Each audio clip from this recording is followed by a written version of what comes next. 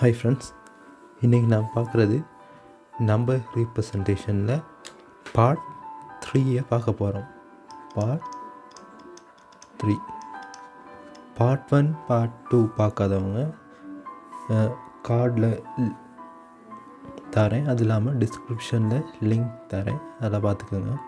Part ஒனில் பார்த்துருந்தோம் decimal part வேறு பைனரி பார்த்துருந்தோம். பார்ட் டூவில் வந்து ஆக்டல் பார்த்துருந்தோம். பார்ட் த்ரீ இதில் வந்து நம்ம பார்க்க போகிறது வந்து எக்ஸா டெசிமல் பற்றி பார்க்க போகிறோம் எக்ஸா டெசிமல் எக்ஸா டெசிமல்னால் இது என்னென்னா இது விட்டு பேஸ் வந்து சிக்ஸ்டீனாக இருக்கும். அப்போ நம்ம யூஸ் பண்ணுற நம்பர்ஸ் ஜென்ரலாக ஜீரோவிலேருந்து என் மைனஸ் ஒன் வரைக்கும் யூஸ் பண்ணுவோம். அப்போ என் மாதிரி தான் ஜீரோவிலேருந்து ஃபிஃப்டீன் வரைக்கும் வரப்போகுது. அப்போ zero one two three four five six seven eight nine ten eleven twelve thirty forty fifty கடைசியாக இப்போ பார்த்தீங்கன்னா தான் இந்த ஒம்பது வரைக்கும் நம்மளுக்கு ப்ராப்ளம் இல்லை. ஒம்போதுக்கு அப்புறம் வர்றப்ப தான் நம்மளுக்கு ஒரு பிரச்சனை.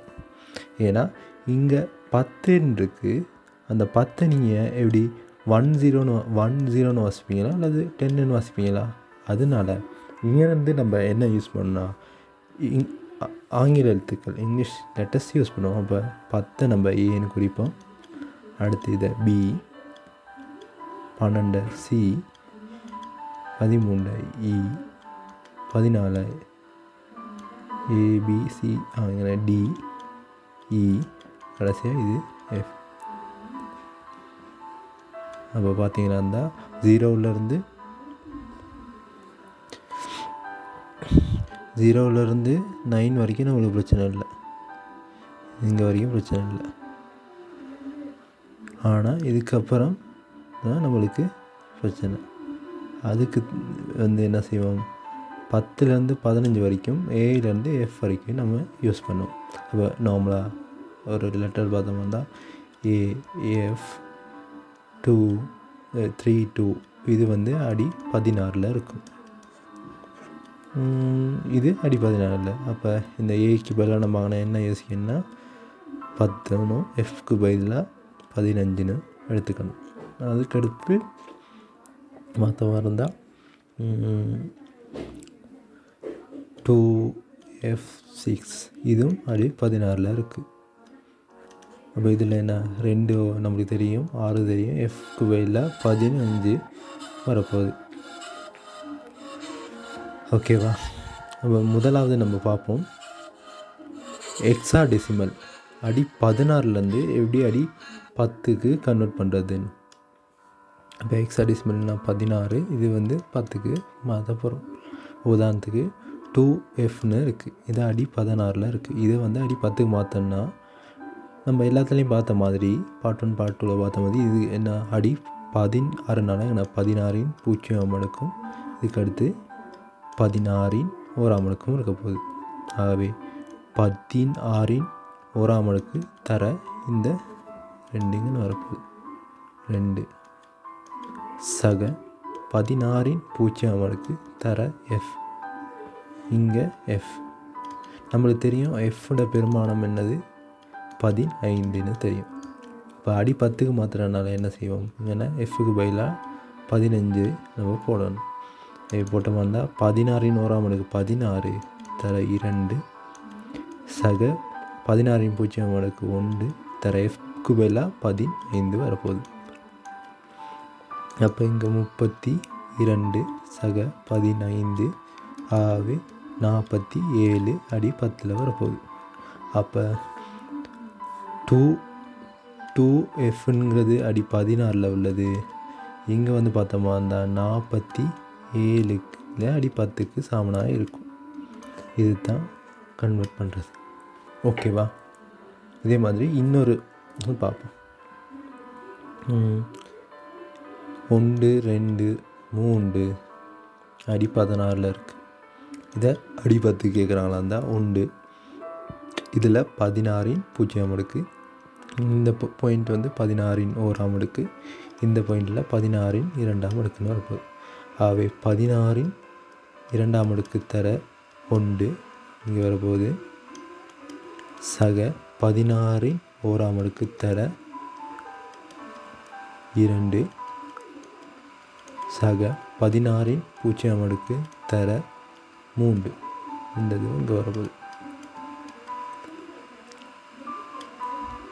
பார்த்த தான் பதினாறின் பதினாறுண்ட ரெண்டாம் அடுக்குன்னு பார்த்தோம்னா பதினாறுண்ட வர்க்கம்னு வரப்போகுது. அது இருநூற்றி ஐம்பத்தி ஆறுக்கு சமனாக இருக்கும். இருநூற்றி ஐம்பத்தி ஆறுக்கு சமனாக இருக்கும். தர உண்டு சக பதினாறின் ஓராம் பதினாறு தர இரண்டு பதினாறு பூஜ்ஜியம் அடுக்கு ஒன்று தர மூன்று. ஆகவே இருநூற்றி ஐம்பத்தி ஆறு சக முப்பத்தி ரெண்டு சக மூன்று அப்போ கூட்டணமாக இருந்தால் வரப்போது முப்பத்தி ரெண்டு சக மூன்று கூட்டணமாக இருந்தால் இருநூற்றி தொண்ணூற்றி ஒன்று வரப்போகுது. இது அடி பத்தில் வரப்போகுது.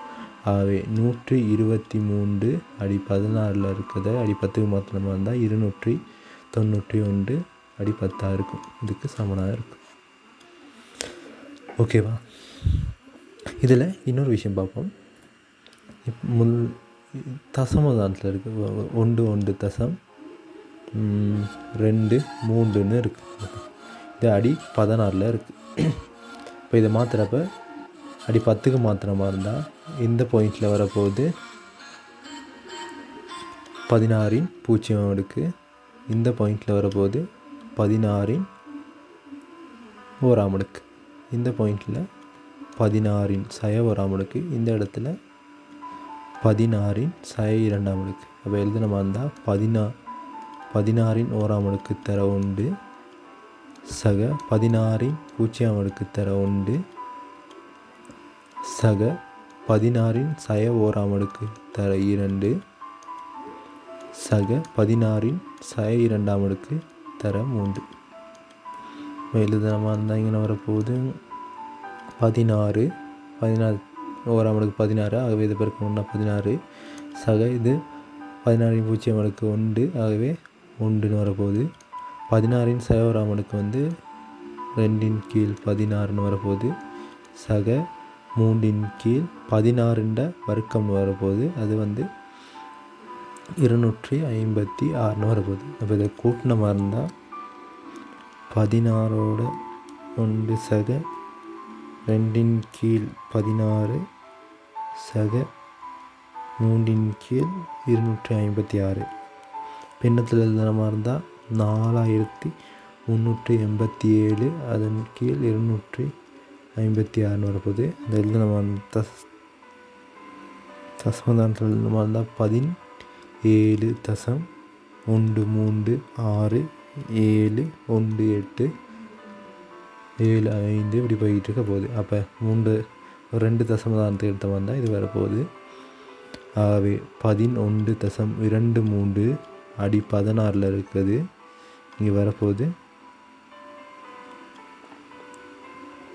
பதினேழு தசம் ஒன்று மூன்று அடி பத்தில் வரப்போகுது. இதுதான் ஆன்சராக இருக்கும். அப்போ என்ன செய்வீங்க? எ- எல்லாத்துக்கும் ஒரே ரூல் தான்.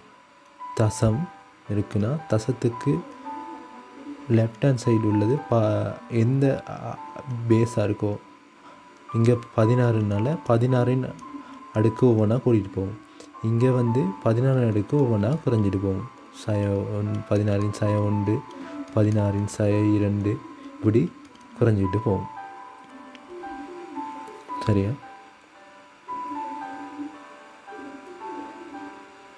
அடுத்து இதுலேயே நம்ம என்னத்தை பார்ப்போம்னா டெசிமல்லேருந்து டெசிமல்லேருந்து எப்படி எக்ஸா டெசிமலுக்கு மாற்றுறதுன்னு பார்ப்போம் அப்போது உதாரணத்துக்கு டெசிமலில் ஒரு நம்பர் சொன்னாங்க பதின் ஏழுன்னு சொல்கிறாங்களா இருந்தால் இது அடி பத்தா இருக்குன்னா இது எக்ஸ்ட்ரா டெசிமல் கேட்டாங்களா இருந்தால் என்ன செய்ய? எக்ஸ்ட்ரா டெசிமல் வந்து அடி வந்து பதின் ஆறு அப்போ பதினாறால் பிரிப்பீங்க. பதினாறால் பிரிச்சிங்கன்னா இங்கே ஒன்று இங்கே ஒன்று மிச்சம் இருக்கும். இதை எப்படி எழுதுவீங்க? ஆகவே பதினேழுன்ற பத்து வந்து இதுக்கு சமனாக இருக்க போகுது ஒன்று ஒன்று ஒன்று ஒன்று இங்கே அடி பதினாறுக்கு சமனாக இருக்க போகுது சரியா? இன்னொன்று நூற்று எழுபத்தி மூன்றுன்னு எடுப்போம். இது அடி பத்தில் இருக்குது இதை வந்து அடி பதினாறுக்கு மாத்திரம் வந்தால் நூற்று எழுபத்தி மூன்று அதை பதினாறால் பிரிப்போம். நூற்றி எழுபத்தி மூணில் பதினாறால் பிரித்த மாதிரி இருந்தால் வரப்போகுது. பத்து பத்து மிச்சம் அறுபது பதிமூன்று வரப்போகுது. பதிமூன்று வரப்போகுது. அடுத்து இதை பதினாறால் பிரிச்சமாக இருந்தால் இது பதினாலாக பிரிக்க தேவையில்லை நேரடியாக இருக்குது தானே. ஆகவே இந்த பத்தை நம்ம என்ன குறிப்போம்? ஏன்னு குறிப்போம். பதினொன்று பி பதிரெண்டு பத்து வந்து ஏ பதினொன்று பி பன்னிரெண்டு சி பதிமூன்று இ சி டி ஆகவே இதை டின்னு குறிப்பீங்க. இப்போ இந்த திசையில் எழுதுவீங்க. ஆகவே நான் ஏ டின்னு வரும். இது அடி பதினாறாக இருக்கும். இப்போ நூற்றி எழுபத்தி மூன்று அடி பத்தில் இருக்கிறத பதினாறுக்கு மாற்றினமா இருந்தால் ஏடின்னு வரப்போகுது. சரியா?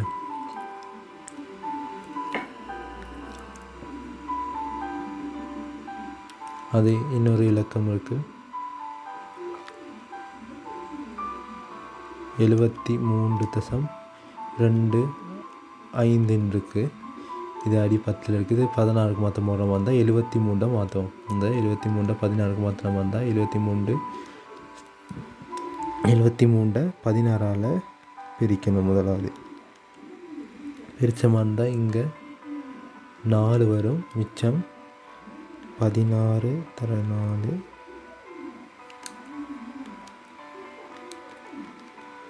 மிகுதி இங்கே ஒன்பது வரப்போகுது. ம்.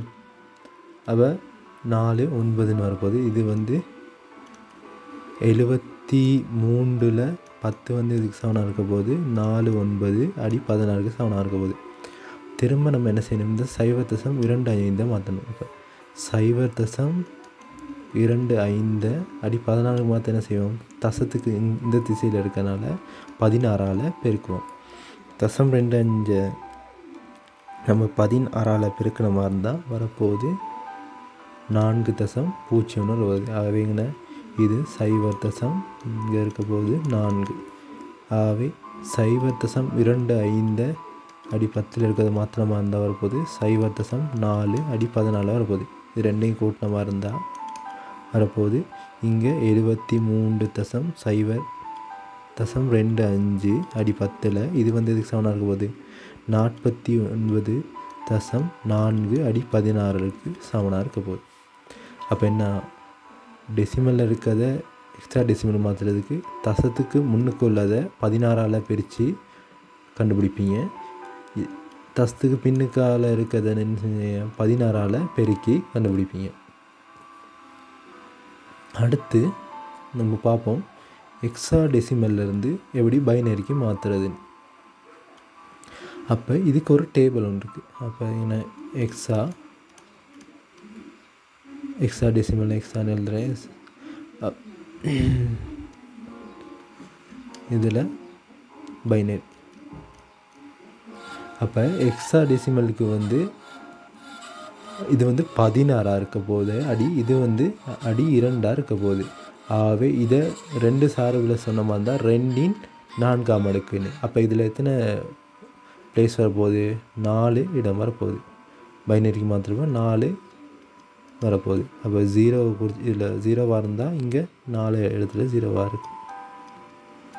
இங்கே ஒன்றாக இருந்தால் இங்கே ஜீரோ ஜீரோ ஜீரோ ஒன்னாக இருக்கும். அது இரண்டாக இருந்தால் ஜீரோ ஜீரோ இப்போ இரண்டை நார்மலாக பைனரிக்கு மாத்திரம் வந்தால் ஒன் ஜீரோன்னு வரப்போகுது. இங்கே நம்மளுக்கு ரெண்டு டிஜிட் தான் இருக்குது ஒன் ஜீரோன்னு ரெண்டு டிஜிட் தான் இருக்குது அப்போ நம்மளுக்கு மொத்தமாக எத்தனை? நான்கு இது தேவை. அவே முன்னுக்கு ரெண்டு இடத்துக்கும் ரெண்டு ஜீரோ சேர்த்துக்குவோம் ஆகவே ஒன் ஜீரோ மூன்று நாலு ஐந்து ஆறு ஏழு எட்டு ஒன்பது. அப்போ ஜீரோ ஜீரோ ஒன் ஒன் அடுத்து ஜீரோ ஒன் ஜீரோ ஜீரோ இது இதுக்கு வரப்போகுது இது இதுக்கு வரப்போகுது இது இதுக்கு வரப்போகுது. ஐந்துக்கு வந்து ஜீரோ ஒன் ஜீரோ ஒன் வரப்போகுது. ஆறுக்கு வந்து ஜீரோ ஒன் ஒன் ஜீரோ வரப்போகுது. ஏழுக்கு வந்து ஜீரோ ஒன் ஒன் ஒன் வரப்போகுது எட்டுக்கு ஒன் ஜீரோ ஜீரோ ஜீரோன்னு வருது எட்டுக்கு எப்படின்னா எட்டை ரெண்டாவது பிரிக்கிறோம்.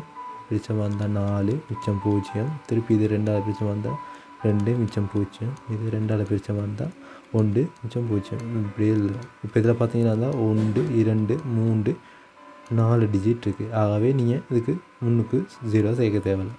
அதே மாதிரி ஒம்போதுக்கு எழுதுனீங்கன்னா தான் ஒன்று பூஜ்ஜியம் பூஜ்ஜியம் ஒன்றுன்னு வரப்போகுது இப்போ இதை அழிக்கிறேன்.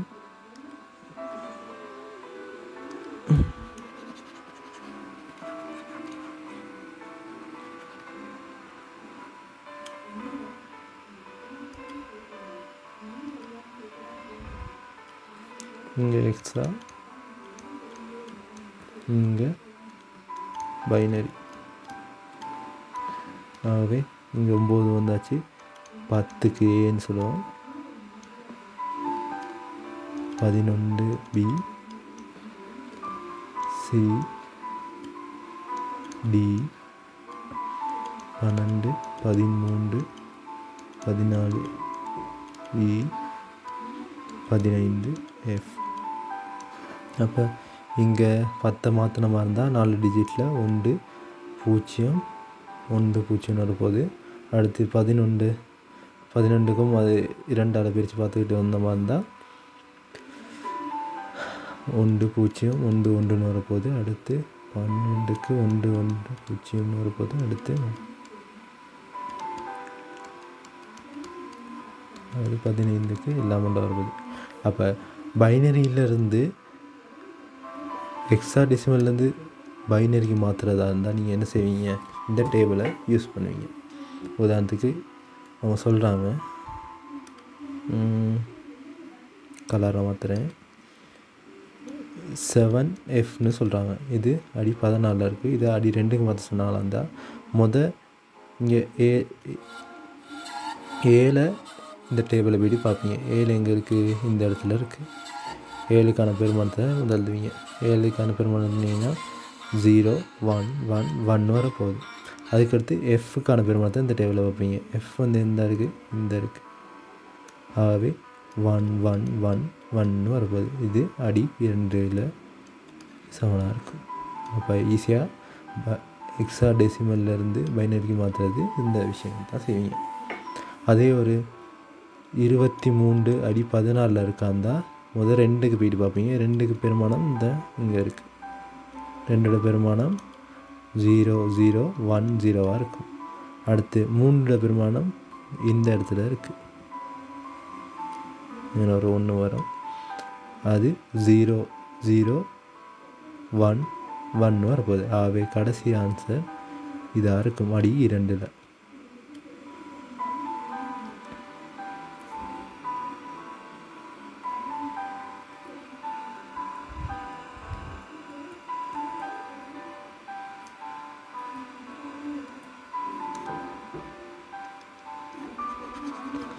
ஓகேவா?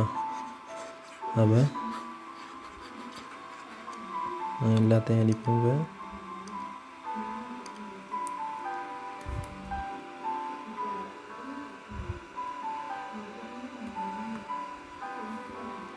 இப்போ உதாரணத்துக்கு செவன் ஃபோர் ஃபைவ் டூ இது அடி பதினாலில் இருக்குன்னா முதலாவது ஏ ஏழு.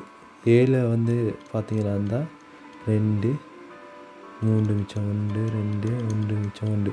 இதில் பார்த்தீங்கன்னா இருந்தால் மூணு இது தான் வருது. அப்போ முன்னுக்கு ஒரு ஜீரோவை சேர்ப்பீங்க அப்படியே ஜீரோ ஒன் ஒன் ஒன்று வரும்.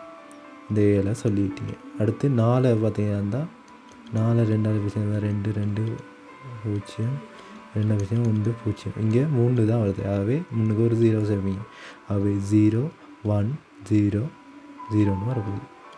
அதே மாதிரி அஞ்சுக்கு என்ன போகுது? இதோட ஒன்றை கூட்டுவீங்க ஜீரோ ஒன் ஜீரோ ஒன் வரப்போகுது. ஆகவே ரெண்டுக்கு பார்த்தீங்கன்னா இருந்தால் ரெண்டுக்கு பார்த்தீங்கன்னா இருந்தால் ரெண்டு ரெண்டு அடிச்சா உண்டு பூஜ்ஜியம்னு வரப்போகுது. இதில் ரெண்டு டிஜிட் தான் இருக்குது ஆகவே இன்னும் ரெண்டு ஜீரோ ஒன்று சேர்ப்பீங்க. ஆகவே ஜீரோ ஜீரோ ஒன் ஜீரோ இது அடி இரண்டாக இருக்கும்.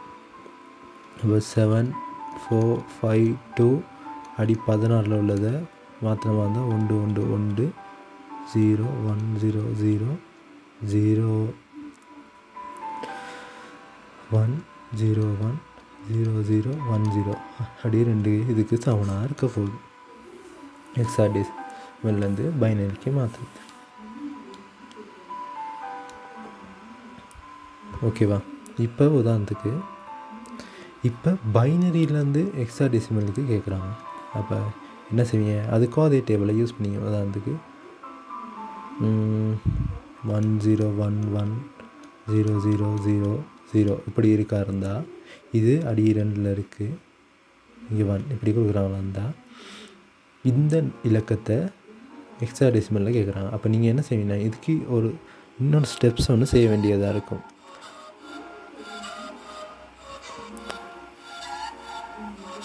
என்ன ஸ்டெப்ஸ் புதுசாக சேர்ப்பீங்கன்னா இப்போ இது எக்ஸ்ட்ரா பைனரியிலேருந்து எக்ஸாவுக்கு மாற்ற போகிறீங்க. அப்போ இந்த எக்ஸா வந்து என்ன நாலு டிஜிட்டாக பிரிக்கணும் எக்ஸாங்கிறது என்ன இது விட்டு நா ரெண்டின் நாலு மடங்கு தானே. ஆகவே இந்த நாலுங்கிறத ஞாபகம் வச்சுக்கோங்க. ஆகவே அந்த நாலு இந்த பாயிண்ட்லேருந்து நாலு நாளாக பிரிப்பீங்க. ஒன்று ரெண்டு மூன்று நாலு. ஆகவே இது ஒரு பகுதி. அதுக்கப்புறம் ஒன்று இரண்டு மூன்று நாலு. ஆகவே இது ஒரு பகுதி. இதை பிரிச்சுட்டு இதுக்கு அந்த டேபிளில் பார்த்து இதுக்கான பெருமானத்தை எழுதுவீங்க. அப்போ இது நாலும் ஜீரோவாக இருக்குது ஆகவே இது நேரடியாக ஜீரோன்னு வந்துடும் இந்த பெருமானத்தை பார்த்தீங்களா இருந்தால் இந்த பெருமானம் நேரடியாக ஒன்றுன்னு வந்துடும் ஏன் வேறு இலக்கங்களில். இது இந்த பெருமானத்தை பார்த்தீங்கன்னா இருந்தால் ஏன்னா ஒன்று ஜீரோ ஒன் ஒன்னு வரப்போகுது. இந்த இடத்துல இது வந்து ரெண்டின் பூஜ்ஜியம் ரெண்டின் ஒன்று ரெண்டின் ரெண்டு ரெண்டின் மூன்று. ஆகவே என ரெண்டின் மூணுனா எட்டு சக பூஜ்ஜியம் சக ரெண்டின் ஒன்றுனா இரண்டு சக ரெண்டின் பூஜ்ஜியம்னா ஒன்றுன்னு வரப்போகுது. ஆகவே விட வந்து பத்து பதினொன்றுன்னு வரப்போகுது. ஆகவே இங்கே பதினொன்றுன்னு வரப்போகுது. பதினொன்று நீங்கள் இங்கே நேரடியாக போடலாமா? ஏன்னா பதினொன்றுன்னு போடணுமா? ஏறாது. இப்போ பத்துக்கு ஏன்னு சொல்லுவோம். பதினொன்றுக்கு பின்னு சொல்லுவோம். ஆகவே நம்ம என்ன செய்யணும்? இங்கே பின்னு போடணும். அப்போ இந்த ஒன்று ஒன்று பூஜ்ஜியம் ஒன்று ஒன்று இரண்டு. இதுக்கான அடி பதினாலில் விட வந்து ஒன்று பி பூஜ்ஜியம். இது அடி பதினாலுக்கு சமனாக இருக்கும். ஓகேவா அடுத்து நம்ம எக்ஸா டெசிமல்லேருந்து எப்படி ஒக்டலுக்கு போகிறதுன்னு பார்ப்போம். எக்ஸா டெசிமல்லேருந்து நேரடியாக நம்ம ஒக்டலுக்கு போக இயலாது. அதுக்கு என்ன செய்யணும்? அதில் இடையில ஒரு ஸ்டெப்ஸ் ஒன்று செய்யணும். எக்ஸா டெசிமல்லேருந்து முத எக்ஸாவிலேருந்து பைனரிக்கு நீங்கள் மாற்றணும் பைனரிக்கு மாற்றிட்டு பைனரியிலிருந்து ஆக்டலுக்கு மாற்றணும் சரியா? அப்போ உதாரணத்துக்கு அவங்க சொல்கிறாங்க ஒன் செவன் த்ரீ இது அடி பதினாலு தந்திருக்காங்களா இருந்தால் இதை பைனரிக்கு மாற்றுவீங்க என்ன? இது தெரியுந்தானே முதல்ல அந்த டேபிளை யூஸ் பண்ணிங்க. அப்போ ஜீரோ ஜீரோ ஜீரோ ஒன்று இந்த ஒன்னுக்கு எழுதிடுவீங்க. அடுத்து இந்த செவனுக்கு எப்படி எழுதுவீங்க? ஜீரோ ஒன் ஒன் ஒன்னு வரப்போகுது. இந்த பகுதி. இந்த பகுதி வந்து ஜீ ஒன்றுக்கு எழுதிருக்கீங்க.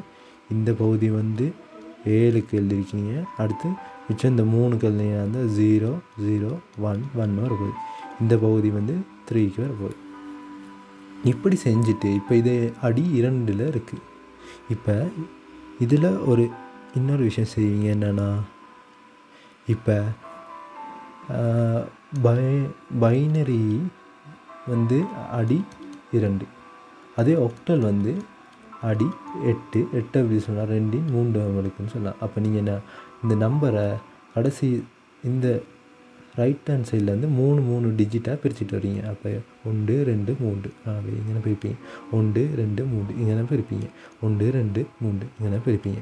அப்போ பிரிச்சுட்டு இதுக்கான பெருமானத்தை இந்த டேபிளில் பார்ப்பீங்க நம்ம மூன்று ஜீரோவாக இருந்தால் நான் இதை நீங்கள் பார்க்கணுமா? இருந்தால் பார்ட் ஒனில் பார்த்தீங்கன்னா இந்த பார்ட் டூவில் பார்த்தீங்கன்னா இருந்தால் இந்த டேபிள் இருக்குது இங்கே ஒக்டல் இது பைனரி ஜீரோவாக இருக்கும்.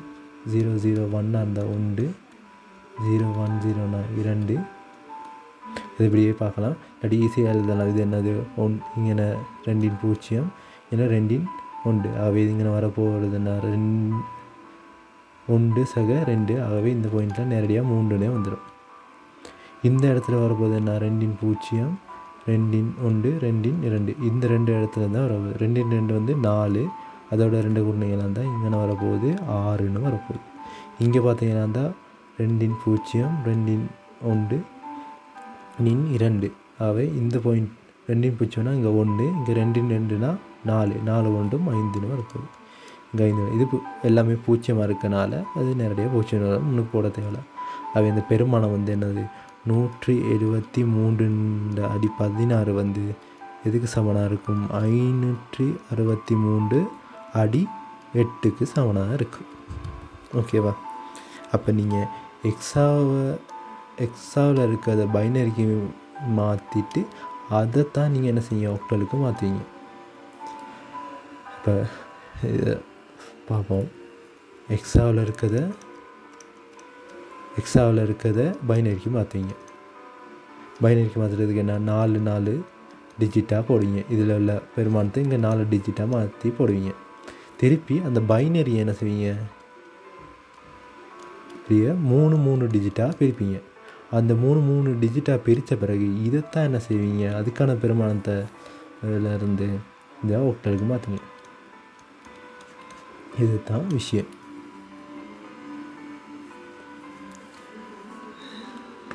அப்போ நீங்கள் பார்ட் ஒன் பார்ட் டூ காட்டி அதை நான் டிஸ்கிரிப்ஷனில் லிங்க்கை கொடுக்குறேன். அதில் பார்த்துக்கோங்க